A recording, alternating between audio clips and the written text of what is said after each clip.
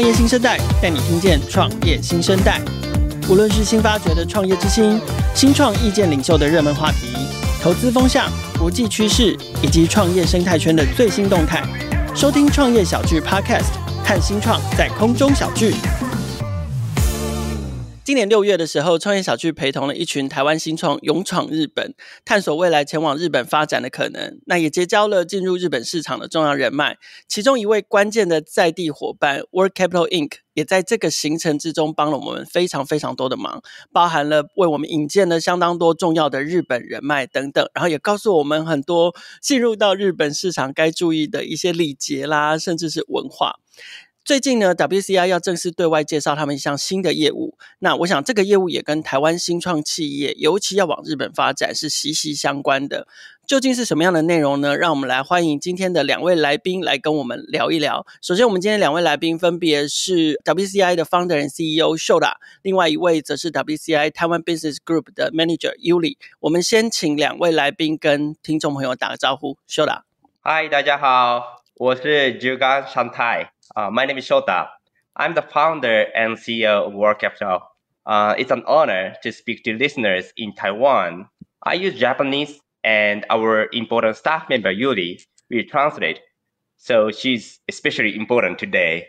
Okay. 嗨，大家好，我是就是哦，我常住在日本大概二十年，然后我是台湾人，我是 Yuli，大家好。好，谢谢 Yuli 哦，因为那个 我不会讲日文，所以今天为了要让这个内容能够详细的被介绍，所以我们要就是会请秀达用日文的方式来接受我们的采访。那当然，Yuli 会在从中，尤其他非常熟悉包含 WCI 要做的业务跟日台双边的这个企业发展的状况，所以 Yuli 会在从中担任非常重要的穿针引线的功能，用中文让我们更了解，就是接下来我们今天采访内容。好，那是不是还是让听众朋友了解一下二位哦？就是先请二位来宾介绍一下自己的背景，还有相关的产业经验啊，或者是创业经验啊。じゃあ、えっと、ショダさんは自分の職歴と業界の経験をちょっと自己紹介をしてください。はい。はい。えっと、私ですね、最初はあのソニーでソフトウェアのエンジニアをやってました。で、その後に、まあ、インターネット系のサイトですね、運営している会社に入りまして、9人目のメンバーとして加入して、3年後で200名ぐらいの組織になった会社で営業統括やってました。好，然后呢，我刚开始的话，我是在 Sony 哈担任这个工程师。那后来的话，这个我加入了这个新创公司。那我当时加入这个新创公司的话，我是第九位的这个成员加入的。那在这个新创公司在经营三年以后，其实它的组织就大概有两百名的这个成员。嗨。 なのでエンジニアと、あと営業と両方とも経験をして、えー、会社を設立してるっていうような流れですね。好，然后就是因为我在 Sony 这部分，我有这个工程师的经验。那在这个新创的话，我这个是在做营业部分，所以这两个我都是有经验的。はい。特に会社始める前の会社はですね、スタートアップですと KDDI っていう大手の通信会社に M&A えー、されてまして、で、そうした M&A されたタイミングで、この WCI っていうのを2017年に東京で設立をして、今が7期目です。那我刚才有提到说，我在这个新创公司。那其实这个新创公司的话，它在两千十一年的时候，它被一间大型的 KDDI 的一间大型的电信公司并购。那刚好在这一个 timing 的时候，借由这个契机呢，我就成立了我现在的公司，就是 w a k Capital 这样。那今年的话，就是第七年。哦，那 Yuli 呢？Yuli 也介绍一下自己吧。好好，大家好。那我的话，我大概自我介绍一下，就是虽然我不是一位专业的工程师哦，但是我就是在 IT 的这个对话机器人跟半导体的这个领域有一些有趣的经验，这样子。那除了这个 IT 机器人以后，我在日本的一个非常有名的一间叫马库尼卡的一间半导体公司的晶片的这个部门工作过。那呃，我相信就是我就是因为我是一个台湾人，那我可以透过我的经验跟知识呢，就是可以为台湾企业提供一些有价值的一些资源跟支持哦。谢谢。哇，好酷哦！都现在才知道，原来 Yuli 是半导体晶片机器人这个领域出身的。只差一点点小小的经验这样子。OK，好，那我想听众朋友认识完二位之后，应该也除非他们有看过创业小聚之前的这个专访了，否则的话，他们可能也还是会好奇，那 Work Capital Inc 这家公司，尤其现在这家公司在日本跟台湾都设有公司哦，呃，可不可以跟大家介绍一下您的公司？ えっ、と、そうですね。じゃあ、えっ、と、ちょっと、うんキャピタルについてちょ、うんうんご紹介お願いします。はい。 えっと、まあ、僕ら WCI ってちょっと呼びますけども、WCI ですね、実行型のコンサルティング提供しています。で、一般の戦略コンサルの会社とは異なりまして、市場調査とか計画立案だけじゃなくて、実際に、あの、日本の会社とパートナーシップを組んで、営業だったり、マーケティングとか、そうしたところまで、あの、実行していっています。好，然后我们呃 Walk Capital 的话，我们简称就是我们公司叫 WCI。那我们是一家呢提供实施咨询服务的公司哦。那这个的话跟战略的咨询公司不同的地方，就是说我们不仅就是进行就是市场研究跟计划的制定，然后我们还会与这个企业建立合作的伙伴关系哦， 实际执行这个销售跟营销的这些活动。那这个都是我们主要的特点。那特别作为在我们海外企业进入日本市场的合作的伙伴，我们就是全力支持他们在日本市场的业务扩展。嗯哼，嗯哼，OK，特にですね、あの、海外企業が日本に進出するときのパートナーとして、えー日本市場での、あの、事業展開を、これを徹底的に支援しています。 で、支援先の会社としては、まあ、日本が4割、で、台湾が4割、あと他の国が2割、そんなふうに、そんなような割合になってまして、台湾のクライアントが多いのが特徴ですね。好，那我们刚才有讲说，我们就是呃全力支持这些他们要进来日本市场这个业务的扩展呢、那我们支持的业务的这个企业的分布的话，大约就是日本企业的话，就是占了这个百分之四十。那台湾企业这部分也是占了百分之四十左右。其他国家的话，大概就是百分之二十。那其中的话，以台湾客户比较多，这个是我们的特点。那我们就是现在目前就是以与台湾客户的合作，就是也是公司的第二阶段，那已经持续了大概五年半以上这样。で、最初のですね、台湾のクライアントの事業始まったのは、もう5年半以上前でして、で、そこで始まった医療関係のプロジェクト最初なんですけども、もう5年半続いてまして、まあその分野だと日本市場で、えー今圧倒的ナンバーワンのポジションも作っているというようなクライアントもあります。好，那其实最开始啊，我们是以医疗相关的公司，就是让他们在日本的市场的业务的扩展哦。那这个其实已经持续了五年半，那在这个领域也其实已经在日本的市场获得了第一名的这个地位。うん是，で、その他ですね、まあ台湾の政府機関とか、あと大手の会社と、あとスタートアップとか、そうしたところの支援もいろいろやってまして、まあそのクロスボーダーのプロジェクトっていうのは、まあ小さいものを含めると今200超えるぐらいまでなってます。 好，那除此之外的话，我们其实还有支持这个台湾的政府机构，那这个大型企业啊，跟包括这些中小型的企业跟这个新创企业，那其实到目前的这个跨境的这个项目已经超过了两百个左右这样。はい。で、特に台湾のスタートアップ非常に優秀な会社も多くありますんで、まあ台湾の VC とか、あとアクセラレーターとか、そうしたところからいろいろと紹介もらってまして、IT と、あとヘルスケア、 こうしたあの業界中心に日本の進出のプロジェクトっていうのをどんどんリードしていってます。那特别是我们台湾的这个新创，其实非常的出色、哦。其实我们也是受到台湾的这些投资公司啊，这些加速器的介绍，所以我们在 IT 跟这个健康医疗的这个领域，就是也引导了其实蛮多的项目进来日本这样子。那我们建立了就是与日本国内这种各企业的这个合作的网络哦，然后还有包括这个企业跟金融机构，然后就是帮助这个台湾企业进入日本市场。で、まあ日本国内でもですね、大手の会社とか金融機関だったりとか、まあいろんな企業とパートナーネットワーク作っているので、台湾企業が日本進出するときには、まあ総合的に支援を、えーしています。对，那就像刚才我提到，就是其实我们跟这些大型的企业跟金融机构都有合作，所以就是让这些台湾企业进入日本的市场的时候，我们就是可以提供全面的支持。はい。で、うちの会社内でもですね、ゆりみたいな、まあ日本歴20年近い台湾人のメンバーもいれば、あとは日本人で台湾での5年以上経験持っているようなメンバーもいるので、言語も問題なく、えー台湾企業と連携しているというところであります。那其实我们公司的话，其实我们就是在日本的话，有像我，我就是在日本待了大概十八年左右哦。那其实还有另外一个员工呢，他是个日本人，但是他有在台湾居住过五年。呃，我们有这样子的一些团队的成员哦，所以在语言方面跟台湾企业的这个沟通合作，其实都还蛮顺畅的。 はい嗯哼嗯哼5年以上やってますから、かなり深いレベルで台湾企業の日本進出の支援っていうのが、まあ、総合的にできるようになってきているというような状況です。那其实我们做这个台湾这一部分已经大概五年半了嘛，所以我们协助台湾企业进入日本市场这一部分，其实也有相当深入的这样水平了。这样， で、これでですね、今はですね、また次のステージにどんどん入ってきてまして、今はですね、さらに日本の会社を台湾に進出させるっていうことも同時に、えーガンガンガンガン行ってます。那其实我们现在正在进入下一个阶段哦，就是开始要协助这个日本市场进入台湾市场，日本企业进入台湾市场。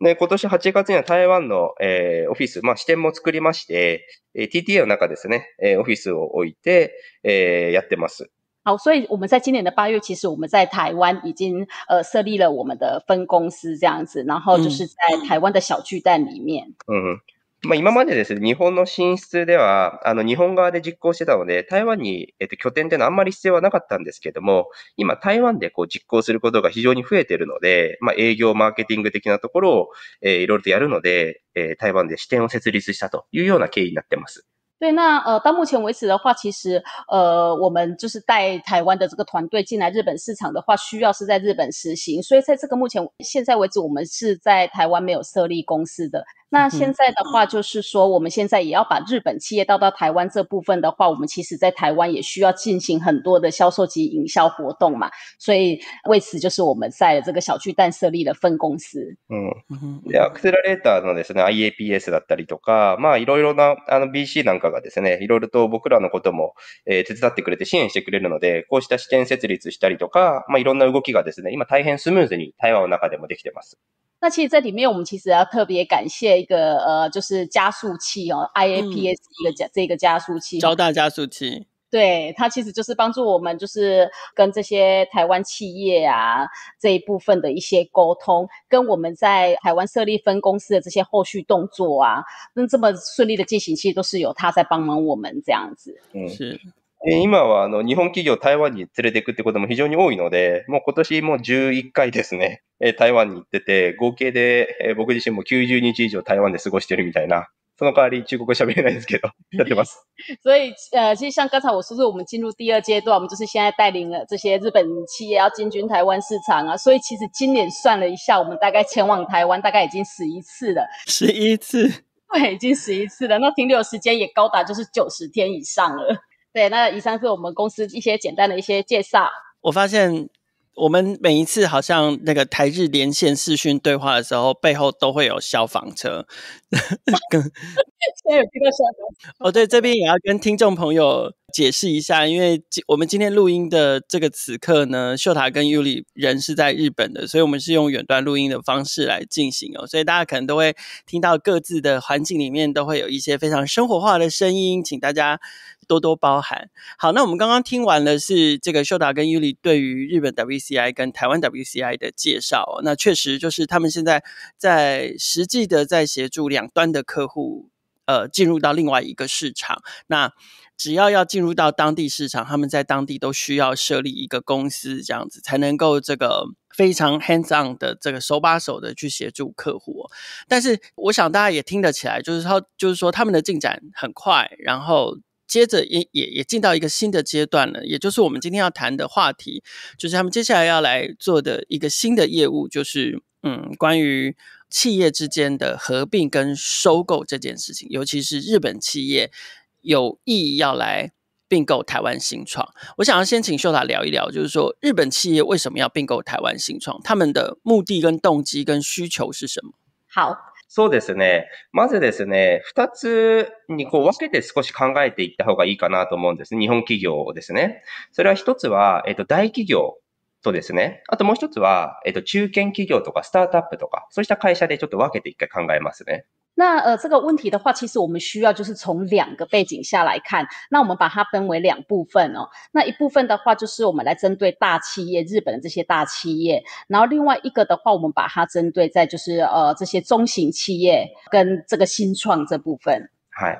えっと、まずですね、大企業の方から言うと、えー日本の大企業っていうのはもうですね、今までもう海外進出では結構実はやってきていて、えー製造拠点っていうのも海外にだいぶ持ってきました。で、 えー世界の市場が成長してきたので、その国市場として販売拠点の設立っていうのも大企業はですね、結構もうだいぶやってます。製造も販売も。好，那我们先从这个大型企业的这个角度来看呢，其实现在日本的大型企业已经在过去进行了很多的这个他们的海外扩张。那早期的话，甚至就是将他们自己的团队哦，都基地都把它设在海外。随着全球市场持续的增长哦，他们其实也逐渐就是对其他的国家，就是这个销售基地对对他们来讲是非常的重要。ですけどですね、あの、今はですね、まあ、それだけだと結構不十分で、えー大企業っていうのは、まあ、えーと自分たちの会社の中で新しいプロダクトを作ったりとか、そういう力がどんどん弱くなってきていて、まあ、あと変化もあの早いので、そうした中で、 あの、オープンイノベーションとかで、新しい会社であったりとか、そういうのを非常に積極的に探すようになってきました。好，那其实虽然是这样子说，可是其实现在都已经不够了哦。他们大型企业在内部创新部分的能力，其实还已经是在减弱的这个状态。那他们的技术变革也是变得非常的迅速。那因此他们要积极的寻找开放式的创新。那这种情况之下，它就会有很多的选择出来。 で、そうした中で、あの、技術を持っているスタートアップを、その大企業の中に取り込んで、自分たちの大きいリソースを使ってですね、さらにこう拡大させていくっていうような形で、えー、スタートアップを買収していくっていうのが大企業はあります。好，那这个时候他们要积极的去寻找这个开放式的创新，然后他们就现在他们就会把他们的那个目标放在这个新创企业上面哦，然后他们就是利用自自己的资源，然后就是再进一步的扩大业务，这样对他们来讲变得非常的重要。で、そうした中で今ちょっと質問のあった、ななんでと台湾のスタートアップとか企業なのかっていうところなんですけども、ここもやっぱり理由がありますね。 好，那刚才我们有提到说，诶，那为什么会是台湾的这个新创企业呢？其实这个是有理由的。で、まず一つが、えー DX 化。これがあの、日本の、まあ、大企業を中心にどんどん今起こってきています。好，第一个的话就是 DX 这部分的推进哦。で、日本今、あの、結構大きな、まあ、転換点にありまして、高齢者が、まあ、多くて、あと保守的な、こう、社会なんで、なかなか社会のデジタル化っていうのが進まなかったんですよね。好，那因为其实日本现在它处于一个重大的转型期间，那它也嗯是老龄化，人口非常的多，然后还有他们有个这个社会保守这个结构，所以因此社会数字化一直在滞后这样。ですけど、まあ、まあ、コロナ禍になった時にね、デジタル化の遅れっていうのが、まあ、多くの会社と個人にとっても非常に明らかになって、まあ、大企業も本腰入れて取り組み始めて、もう今3年半ぐらいが経ってると いうような感じですね。然后再加上这个新冠呢，啊它就是大流行，它就是特别的显示这个数字化滞后的问题哦。那大企业也开始就是认真的对待数字化转型这一部分。こうこういう中で台湾のテクノロジー産業っていうのは非常にまあ有望で、まあ優秀な企業が多いですし、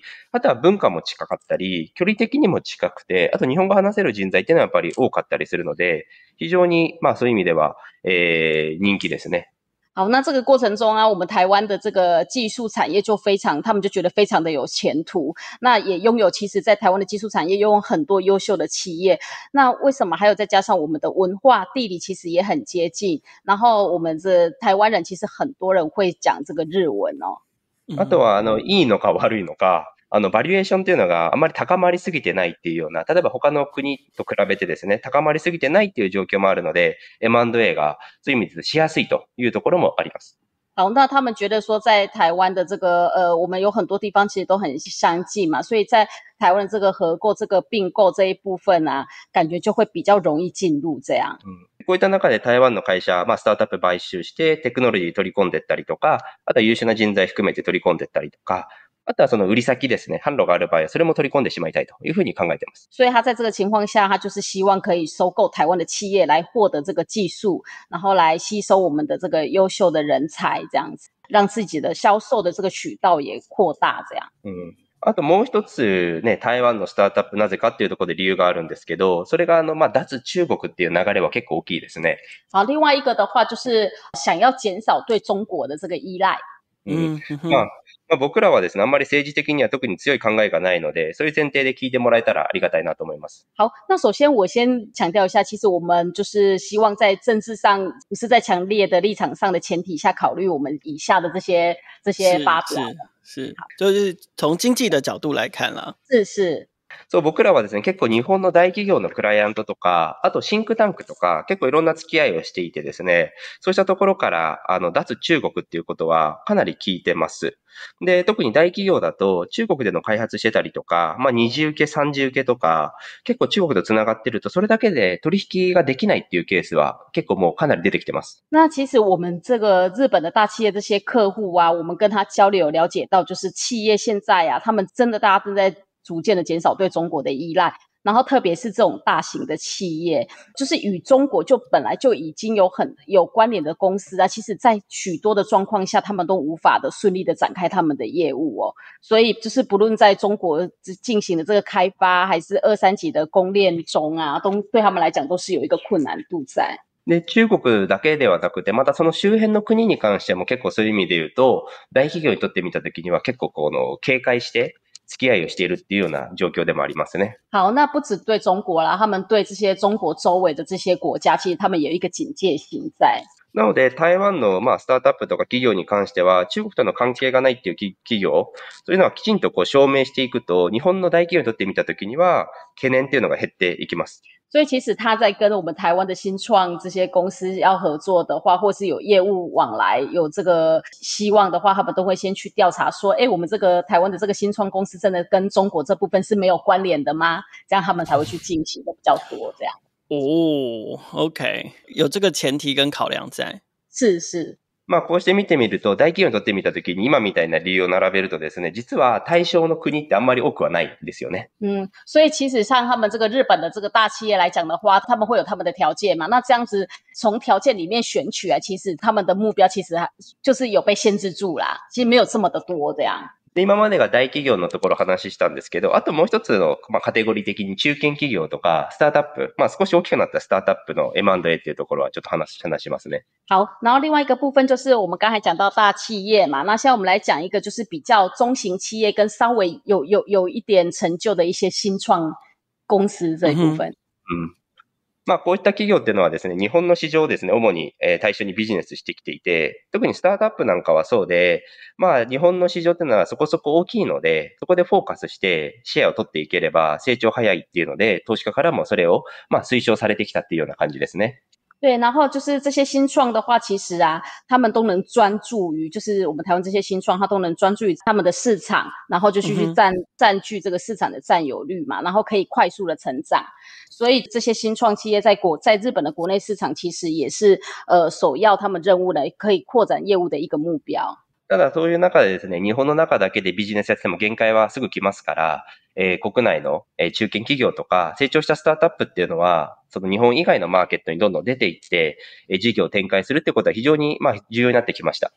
那为什么？是因为说，就是呃，这些日本它原有的日本的新创，其实他们之后在日本发展完以后，他们也是往别的国家去。所以日本的话，它就是也会想要把这些国外的这些新创带进来日本，这样。嗯。ね、例えばこう中堅企業が海外でビジネスしていくってなっても、まあ新規事業みたいな感じになりますから、1億円とか2億円っていうのは普通にまあ初期でこうかかってきてしまうので、 そうであれば、まあ、ちょっとスモールサイズの企業を買収してしまって事業展開していくっていうのはコストとかスピードの点で十分理解できるなと思います。好，那我们来讲这个中型企业的话，其实啊，中型企业它想要在海外展开业务的话，或者是它要做一个新的业务的话，通常它都是需要花费这个一亿至两亿的日元左右。那这种情况下的话，就是收购这些小型的公司啊，在成本啊或者是速度方面扩大业务，对他们来讲是有意义的。 まあ、そしてね、今大企業とか、えー、スタートアップとか中堅企業の話を、こう少し整理して話をさせてもらいました。好，然后再就是呃，关于这一部分就是中型的公司啊，或者是这个比较稍微大一点的新创公司的这个解说。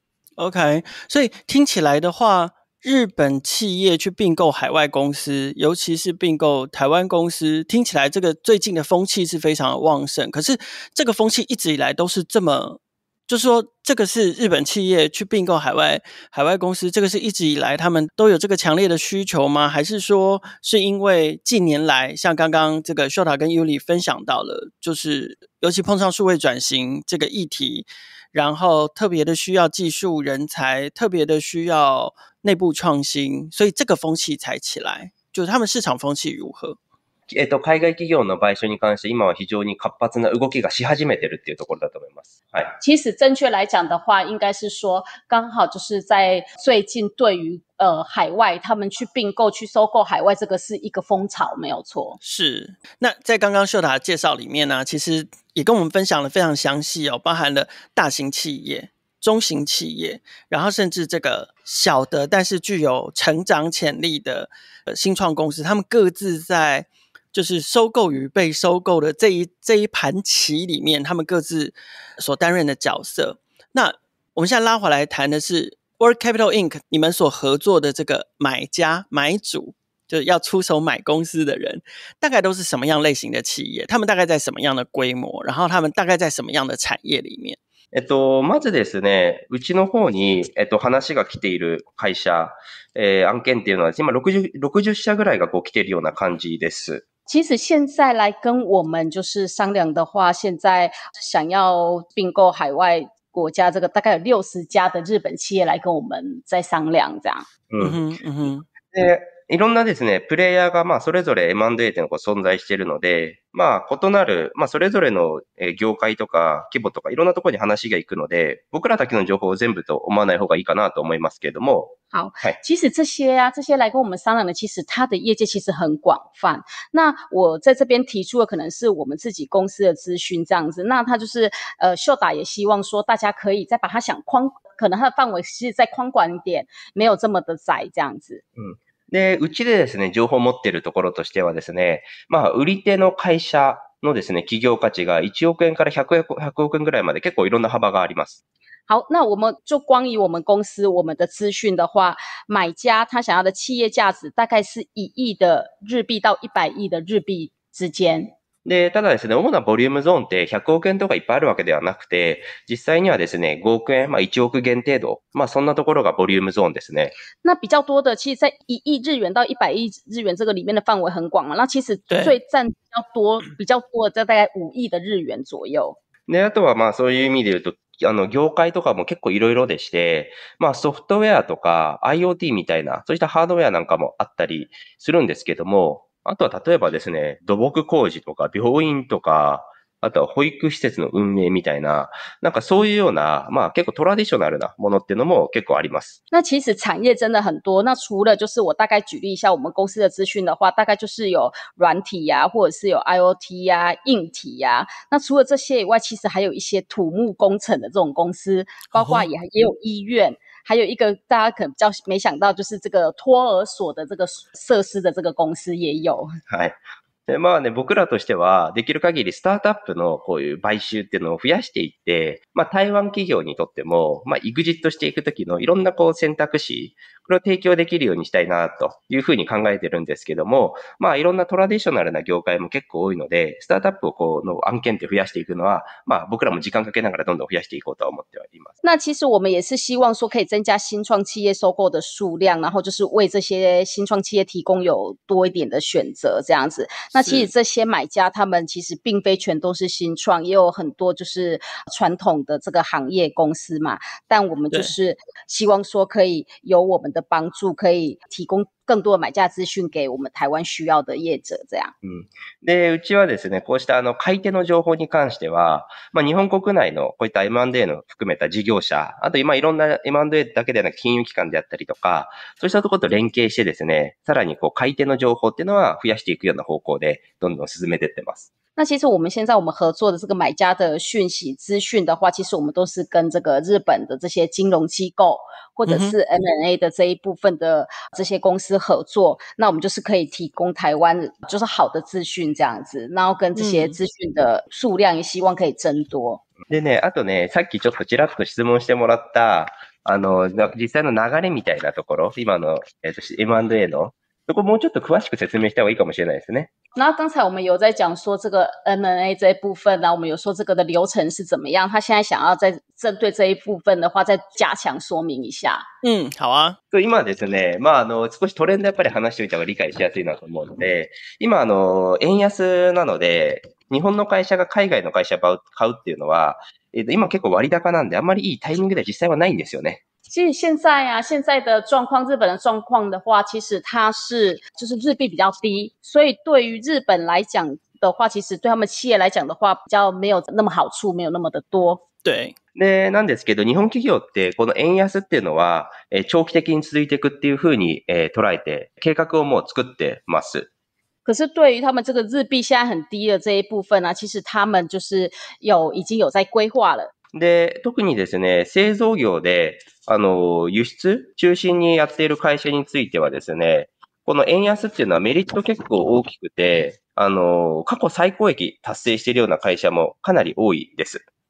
好，那其实这个日币贬值啊，对于注重出口的这个制造业者来讲，其实有很多的。出口这部分会有比较多的优势。那这些制造业的话，呃，实际上也正在实现他们创新，就是记录这样子，创新他们的利润的记录哦。なので内部留保っていうのが結構こう積み上がってきているようなあの感じなので、それをですね、M&A にまあ活用して、えー、海外展開の攻めの試験に使うっていう会社も、えっと、だいぶこうそういう意味で言うといろんな動きが増えてきてます。所以他们内部的储备啊，就是不断的累积。那许多企业就是也会透过并购这一部分啊，然后去做那个进攻资金这一部分。そういう意味で先ほど言ったみたいにいろんな動きっていうのは出てきてますっていうのは、こういったところも関係してきています。好，那刚才有讲到说，在日本的这个现在的状况的话，它跟这一部分也会有一些关联。这样，嗯，对不起，我这边想要再进一步了解一下，就是说。呃，秀塔这边谈到的是，因为日元贬值，所以对于现在日本企业来说，是一个相对来说条件比较不不利的情况下。那可是我不太明白，就是说，在这个情况下， 为什么收购或并购其他，尤其是海外的公司，对他们来讲，反而是是一种就是储备他们能量或者是能力的的一个重要关键，是刚好趁着现在日币低，买东西比较划算吗？円安っていうのはもうですね、ある程度日本の会社はもうこの計画に入れちゃってます。しばらく続くだろうっていう。それ待っていてもいいタイミング飛んでこないじゃないですか。 で、逆に言うと円安で利益も積み上がってきてるから、そうすれば、えー、まあ、ベストなタイミングではないんだけれども、诶，やっていこうっていうような判断をしている状態ですね。其实他们就是日本企业，他们现在就是他们有认为说这个日币的贬值，这个会长期的持续下去，所以其实他们很早就在制定这个计划。那虽然是日币贬值的状况下，他们觉得反而在这个状况可以得到一些利润，利润会提高，这样，所以他们就觉得说，就是现在要开始行动，这样。もしかすると円安じゃなかったらもっとあの活発かもしれないですよ。不过也可以说是，如果现在没有日币没有贬值的话，其实这个事业会获得更宽广，也有可能啦。但是他们就是有在想，他们就是之前就已经长期计划说，他们知道就是日币贬值会长期下去了， 就先做好准备。准备对。ただですね、M&A ってやっぱり、まあ、いろんな、あの、目的はあるんですけども、その目的の大きなものの一つに時間を買っていくっていうところがあるので、なかなかそれを待ってるっていうよりも、今こういったタイミングだけれども、買いに行くっていうスタンスの会社も結構ありますよね。那再加上 M&A 的话，它其实要执行这个需要一个很长的时间嘛。那他们与其觉得要在这边等待的话，我们就是要先行动，这样。是是。好，那刚刚秀塔好像还有要继续跟我们分享，就是关于整个 M A 在进行的时候的的一个过程跟流程，他好像还没有讲完。そうですね。まあ M&A のところで言うと、先ほど話したみたいな、まあ大きなトレンド感はみあの把握しておいた方がいいかなっていうところですね。あと具体的なところはまた結構細かいんでね。哦，就像他刚才叙述的，跟就是他觉得现在就是一个主流。那呃，等一下在细部的话，他在后面他还会再多加一些说明进去，这样。嗯哼，嗯哼。那像依照你们操作的案例啊，就是说，比如说收购有没有什么？不同的类型或不同的方法，比如说是，呃，你们的客户都习惯是全额收购吗？或者是是部分的收购占大股吗？那如果公司进行完收购跟合并之后，这个被买的这一方的这个新创公司，它原来它的接下来的结局会是什么？是通常是团队人才都会被继续留下来吗？还是说大部分你们的客户可能只只买技术不买人？そうですね。まあ、うちの、あの、希望としてだったんですけども、うちはですね、できる限りやっぱり、えっと、スタートアップの M&A を増やしていきたいっていう考えはあります。で、先ほどちょっと言ったみたいに、スタートアップのエクジットの選択肢をなるべく作ってあげたいなとは思っています。嗯，就是我们尽量让这些新创企业它的采购的这个价值啊，让它提高这样子。嗯哼嗯哼，那买完之后呢？买完之后就是这个被买的这家新创公司，他们会所有的团队都会被留在这个并入之后的新公司里吗？还是说会进行一些团队上面的汰换？まあ、えっと、ちょっと先ほどのところにちょっとだけ補足するとですね、僕らとしてはスタートアップの M&A 増やしていきたいんですけど、ただスタートアップですね、実際に、えっと、調達してる時のバリエーションがこう高すぎてしまって、M&A で企業価値をこう出していくときに結構こう下がってしまうっていうところがあるので、結構難しい側面も結構あるんですよね。好，呃，就是我们就是现在在讲说，哎，我们要怎么样去推广，就是让新创这部分在这个 M A 这部分会比较好运转这样子。那其实，呃，对于新创来讲的话，其实要要去估值他们企业的估值的话，其实这一部分就是其实也是一个比较难的地方。 で、そういう中で、まあ、完全にこう買収していくかとか、そうしたところになると思うんで質問だと思うんですけど、まあ、これもですね、えっと、大手の企業、大企業なんかと、その、もう少し規模の小さい会社に分けて考えた方がいいかなと思ってて、えー、大企業だとですね、まあ、完全にその会社を買った時に結構、やっぱり全部買ってしまうとリスクっていうのが存在してたりとかするので、えっと、事業ごとに分けて買収するっていうケースも結構あります。好，那我们先来以大公司这部分好了。如果你说这一间大公司在日本这个大企业，它要收购这一个台湾的新创的话，其实他们在收购的时候会有看不见的这些风险嘛？那呃，在某些情况下，他们就是会拥有一可能已经有他们的业务资源，所以他们可能就是有可能不是全部收购，他可能是用部分收购这一个方法去达成他们的那个目标，这样。ただですね、あの、部分的な買収してるっていうことは事業を切り分けていって、必要なだけ、ところだけ残すとかなってくるので、結構いろいろとですね、複雑な部分が、まあ、いろんな関わってるので、複雑性が増しちゃうんですよね。なので、あの、規模感が極端に大きくない、そうした案件に関しては、まあ、完全買収していくっていうことが、基本的な標準であるというふうに考えています。好，其实，在那个部分收购这部分的话，它其实会增对他们来讲会增加这些复杂性哦。比如说，他们要分离业务，可是他们要保留必要的部分，所以他们对于这个呃新创界这个收买的话，他们可能会采用完全收购的方式会比较多一点。这样，嗯哼嗯哼，虽然是说完全收购对他们来讲有他们看不到的风险，可是比起这个部分收购的话，他们比较偏向这一边。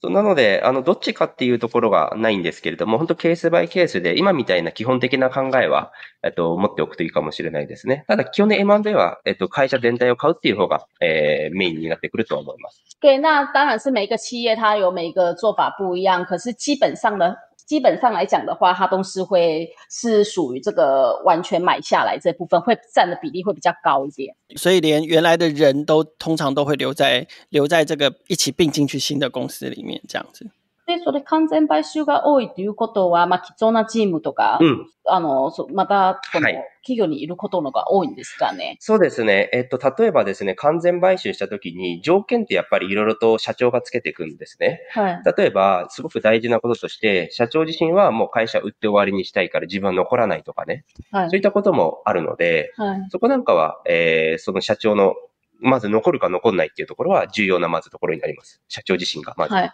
对，呃，基本上的话，其实会留下来会比较多，可是还是要看那个企业那个这个管理者、这个负责人他怎么去判断这样子。是了解。で、あとはその他のメンバーに関してっていうところは、これも、やはりですね、えっと、どこまで、その社長として、まあ、会社長として、メンバーに対しては給料下げないでほしいとか、そういうところを最初の条件に入れていくかっていうところは結構大事ですし、あとは買い手の会社との相性というか、えー、ありますよね。えー、そのまま残してもらえる。やっぱりそういったところがいいところだったりもするので。那其实除了这个负责人这个他决定权以外，其实他还会去询问这个原本在这个企业的这个员工，他的薪水方面，他是要怎么样去调整，这个全部都有包含在里面。还有他的能力是不是他提出来的金额是我可以接受的？这样，其实所以这个跟这个负责人这个这一边的影响很大。这样。 ただですね、非常に日本の会社としてはですね、やはりその欧米の会社と比べて、あの、そういう意味で言うと、まあ、ドラスティックにいきなりそのリストラしていくみたいな、そうしたところにはなかなかなりづらいんじゃないかなとは思います。对，那就是说，其实日本跟欧美比较有一点不一样的地方，他不能说，呃，就是一些理由就说，哎，我不要用你这样子。他原本买过来的这些员工，对他还是要去想到他们的生活，会跟要为他们负责这样。对对，要为他们负责这样。嗯，OK。好，那我们回来 WCI 这里哦，就是那你们在这个不管是台湾新创被日本。 企业收购，或者是日本企业想要来买台湾新创这个过程中，WCI 在这中间扮演怎样的角色？你们要做哪一些事情？まずですね、WCI うちとしてはですね、非常に大事なところで、僕らは、えー、日本の会社であるんですけれども、台湾側の売り手の会社に支援をします。对，呃，我们虽然我们是日本的公司，但是我们是方针就是我们要为了这些台湾要卖的这些企业的公司，要协助他们这个位置。 今僕らは、まあ最初のフェーズでもあるので、えっと、売り手ですね。売り手の支援っていうところに特化しています。所以我们是针对说我们要支援的是就是卖方这一部分。うん、で、この売り手の会社っていうのは、そもそも日本の会社だけに売却考えるんじゃなくて、まあ、えっと、台湾国内の会社とか買い手とか、あと他の国の買い手なんかも含めて、いろんな選択肢を持った方が有利ですね。好，那其实我们要呃，就是支援卖方这部分的话，不仅说只是出售给这个日本的公司，其实其他的海外公司的话，其实我们也 是想要有这个就是合作这个策略。で、うちとしては、まあそうした中で海外企業に売却をしたいとか、で、特に日本企業の売却っていうのを考えている、えー、売り手にとっての選択肢の一つを提供しているっていうふうな捉え方をするといいと思います。好，但是你们只要想到说，哎，我们其实我们最主要是为这些台湾的企业，他想要卖给日本的企业这一部分，我们会以这个为主，协助他们这样。 で、うちはですね、あの、M&A のこうした、まあ、実行っていうのは結構長く続いていくんですけども、まあ、パートナー戦略をとってます。で、そのパートナー企業と一緒にですね、共同で M&A を進めていっています。好，那我们的做的方式是怎么样呢？其实我们在执行这个并购的时候，我们是采取这个合作伙伴的这个策略。うん。で、ちょっとね、えっ、ー、と、どういうことを役割果たしますかっていうことなんで、ちょっと詳しいところ話していくんですけど、いいですかね。好，然后我我现在可以大概就是说明一下，那我们要我们可以做的是什么这样。うん実際に会社ですね、売却しようと思うと、まあ会社の目的、売却の目的とか、えー、守りたいって考えているものっていうのをまずは把握していきます。好，刚开始的话，我们先确认说，哎，对方他要卖的目的是什么？还有他的目标是什么？あとは、あの、売り手の会社の、まあ、デューデリジェンスって言って、まあ、企業の価値ですね。それを測っていったり、どういうふうにして売却していくのか、そういったスキームなんかも、えー、一緒にこう決めていきます。好，然后就是我们会进行这个卖方的这个尽责调查，就是滴滴这部分，呃，估价这部分，然后去决定它的销售方案。そうした会社が分かっちゃうとまずいので、会社名隠した状態で、そうした情報をですね、載せた資料を作っていきます。那包括这些，就是建立这些档案呐、啊，这些资讯的档案，然后当然我们也会保护他们，也会帮他们，就是公司的名称，我们会把做好这个保护情报这部分。哦，对，そうまあバレちゃうとまずいからね。对，はい。因为我猜他们应该也不想要让人家知道这些资讯，这样。也就是说，今天如果有一个卖方，你们得知有一个卖方想要卖公司，那你们就会，所以你们是受理卖方的需求，还是受理买方的需求？我们是受理卖方的需求，受理卖方的需求，然后你就开始包含做滴滴调查、估价，然后也帮他们把方案写出来。就是方案 A 有这种卖法，方案 B 有这种卖法，方案 C 有这种卖法。但是你会，你就会把这个 profile 提供给买方去评估，但是买方不会知道这是哪一家公司。是的，是的，是的。理解。で、そういった資料をですね、まあ、買い手の、え側ですね、そうしたところにこう渡しながらですね、えっ、と、候補の会社っていうのを、まあ、集めていって、えー、選定をしていきますと。で、あとはこう、詳しい商談に入っていってっていう流れになりますね。对，那整理这些资料以后，我们会把这个公司的情报先隐隐隐藏嘛。那但是我们会提供给这些就是买方，呃，然后除了说原本既有我们手上原本的资料以后，还会去收集就是更多的候补的这些买方公司这样。嗯，で僕らであればその買い値買い手の候補っていうのは日本企業になるわけですから、そうしたところにこうアプローチをかけていきますっていうところ まで含めて、今話した部分を全体を動かしていくという形ですね。所以在这个日本的这个买方这部分，这边就是都是由我们这边来协助这样子。那我们也会去跟这些买方的，跟他们连接这些公司，跟他们讨论，跟他们商谈，给他们资料，然后给他我们的需求这样子。 で、こうしたところの流れっていうのは、うちだけじゃなくて、うちとあとパートナーと一緒になってやっていくという形でして、で、うちのパートナーなんですけど、それはあの、クロスボーダーの M&A の経験は非常に豊富なんですけど、台湾市場との理解とか経験っていうのはあんまり多くはないんですよね。好，那我们现在像这个，现在我跟我们合作这个合作伙伴的话，他们其实会跟我们一起共同的就执行整个的流程。那这个合作伙伴其实他在跨国并购的这部分，他其实是拥有非常丰富的经验。但老实讲的话，他们现在对台湾市场的这一部分的了解跟经验其实还不够，还是有比较少一点这样。うちは逆に事業支援っていうのも5年半、 こうやり続けてきていて、台湾に関しても結構ね、そういう意味で深くやってますから、まあお互いが、まあ台湾のこと、企業のことの理解っていうところを持ってるので、えー、お互いがですね、そういう意味で言うと相互補完関係っていう感じで、えー、高いレベルで M&A やっていくという形です。那因为他们虽然对台湾市场这边了解经验并不多，但是我们身为他的合作伙伴，我们在台湾已经有这个五年半的经验，这样，然后我们就是以一个合作的共同合作伙伴，共同以互补的关系来执行行这一个业务，这样。OK，那所以听起来，我我我们本来后面有一个问题是要问说，你们主要服务买方跟卖方，可是其实在刚刚的这个回答过程中，答案已经揭晓了。事实上，你们主要服务的对象是。卖方，可是我反过来说，我们其实现在也很常听到有一些台湾的新创公司，他们为了要快速的取得，因为要进军日本市场嘛，所以呢，他们为了要快速的取得这个日本的人才，或者是快速的取得这个日本的一定的市场占有率，所以呢，他们要进去的方法或者是策略之一是，他们也去收购日本的公司。OK，你们会反向提供这样的服务吗？就是说，你们的服务对象一样是台湾新创，可是呢，他的角色从卖方变成了买方。我想要先聊聊这件事情。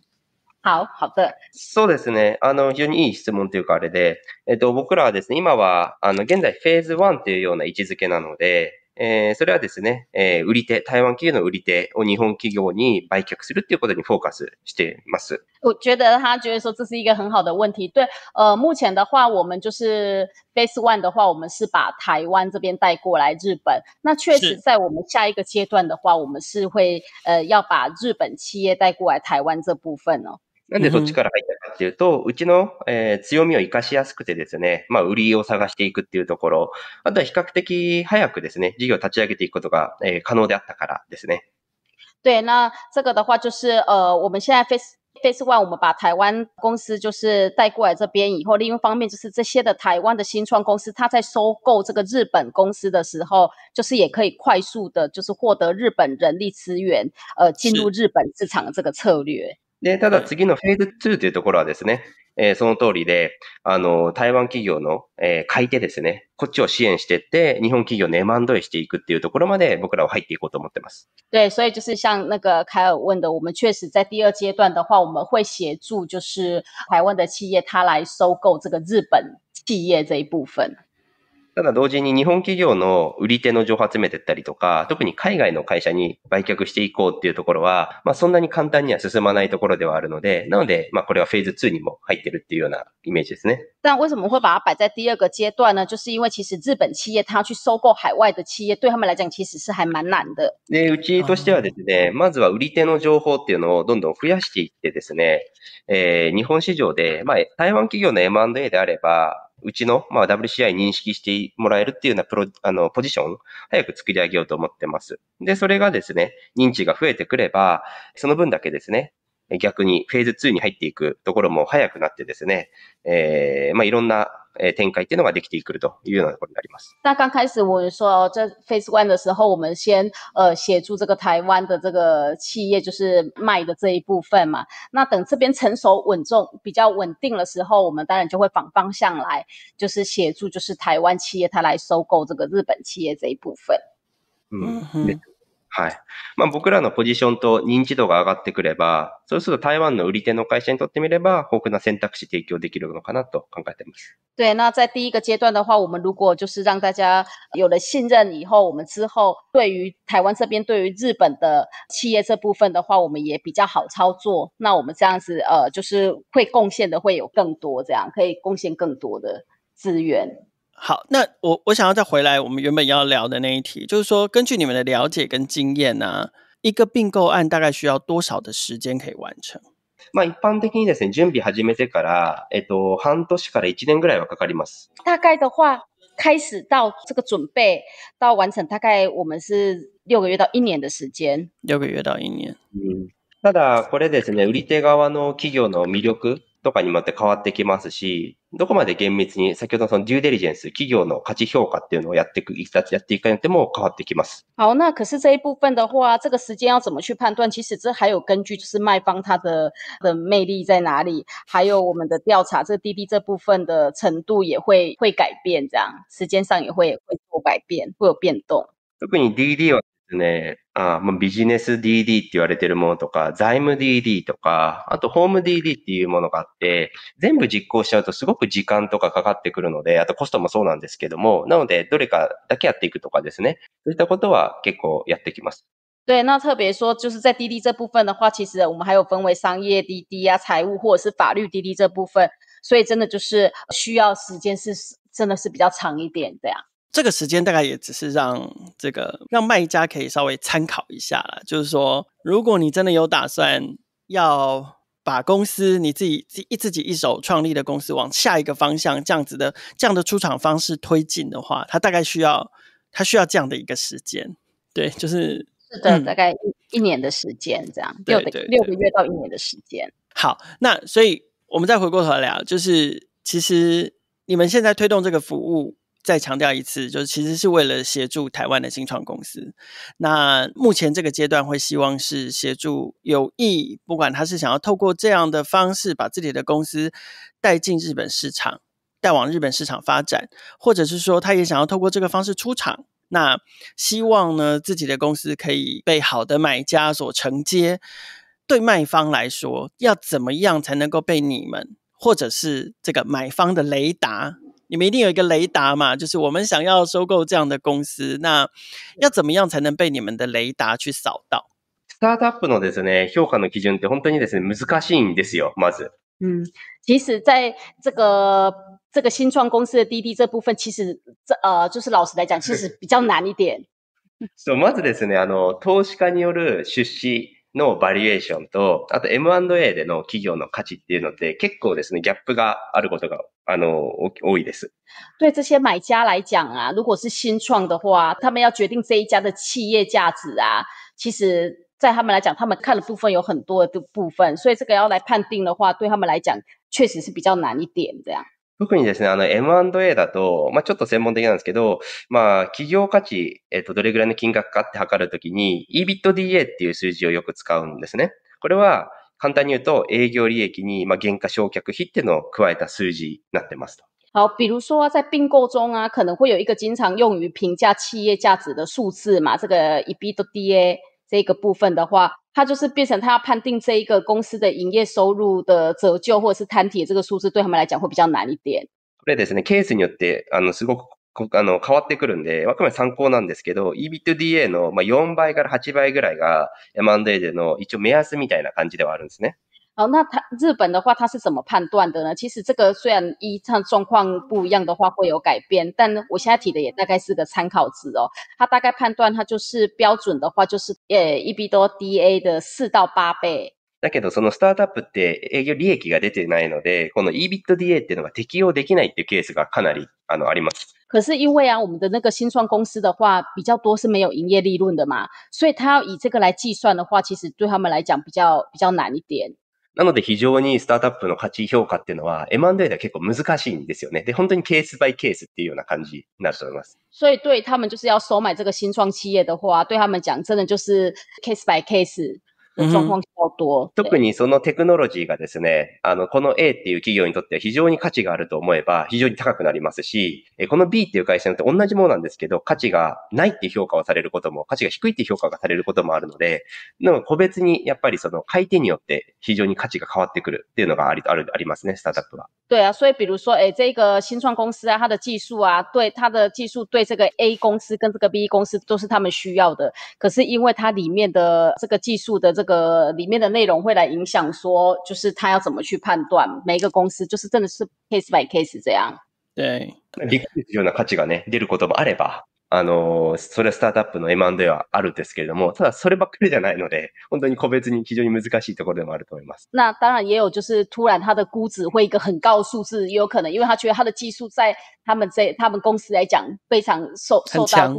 需要，对对对。 我进一步问，那那如果说，比如说是你们会主动去找卖方吗？就是就问问看，说有没有人有意被日本企业收购啊？还是说你们会有一个什么方式？你们欢迎这个想要被并购、想要被日本企业合并的台湾新创公司主动来找你们？你们会是采取什么样的方式？あ、なるほど。そうですね。あの、あれ、 売り手としては、ど、どういう感じで自己してるんですかね？例えば、あの、売り手を、ところ、あの、売り手が、ちょっとこっちに来た場合は、まあ、買い手を見つける？うんうんうん。で、あの、積極的に手つ、あの、はい助けたりとか、そういう感じですか、あ、そうですね。まあ僕らもですね、台湾での実績っていうのを、またさらにどんどん増やしていきたいと思ってるので、えーまあ相談していただけたら、一生懸命、えーヒアリングして、で、それで買い手を探していくっていうような流れは、えー組んでいきます。对，因为其实我们在台湾的话，其实我们还是要建立一下，我我就是我们的呃这个时机啦这部分。所以到目前为止的话，如果有需求的公司的话，其实我们都会帮他去找，就是他的需求这样子，就去是找买方嗯或者是卖方这样。所以简单说，就是你们也欢迎卖方来主动来联系你们，这样。 是的，是的，也也欢迎卖方来联系我们这样。まあ、なのでですね、まあ、全部に対してが答えられるかっていうのはちょっとわからないんですけれども、ただできる限りの、えーマッチングできるように、えー情報として日本側で、えー情報を出していくという形は作ります。对，那我不能保证说，哎，每一个都会很顺利，但是就是我们会尽我们的全力这样子，那帮大家媒合。好，今天聊了很多哦、最后一个题目，我想要聊一个比较比较大一点的， 也作为我们今天谈这个你们你们所提供的这个新服务的最后一个一个结论哦，就是说，呃，WCI 作为这个企业并购的这个服务的中介者，那你们自己是怎么看待台日企业收购合并这件事情？那你们觉得透过这样的一个商业行为，会有哪一些价值或者是效益可以被创造出来？そうですね。えっと、ん企業の、 あの、M&A の中、まあ、重重会社として、うん。台湾の企業うん。の M&A についてどう思いますかねで、どんな価値とかメリット生まれると思うんですかはいはいはい。そうですね。まあ、台湾企業の M&A っていうところで、まあ、もう少し限定して僕らは日本と台湾の間でのこう M&A っていうところについて話ちょっとしますよね。好，那我大概把它整理一下，就是我们把它分为这个日本跟台湾之间的跨国并购者。で、M&A だと、まあ、売り手と、あと買い手、まあ、二つの、えー側面があるので、まずは M&A の売り手側についてちょっと話します。好，那我们也知道 M&A 的话，它就是有就是卖方跟买方嘛。那我们先以卖方这部分来做一个解说。で、うちはですね、まあ、台湾企業の日本進出いろいろやってきましたんで、まあ、たくさんの台湾企業と関わり持ってきて、えー分かってきたんですけども、まあ、台湾企業は、あの、比較的規模が小さい段階でも、やっぱり海外志向が強くて、海外事業を展開しているっていう企業も多いですね。好，那呃，其实我们公司就是一直在支持这个台湾企业进军日本这一部分，所以我们跟许多台湾企业其实都有合作嘛。那其实我们有发现到，其实台湾企业即使规模不是很大的话，它海外导向这部分其实还蛮强的。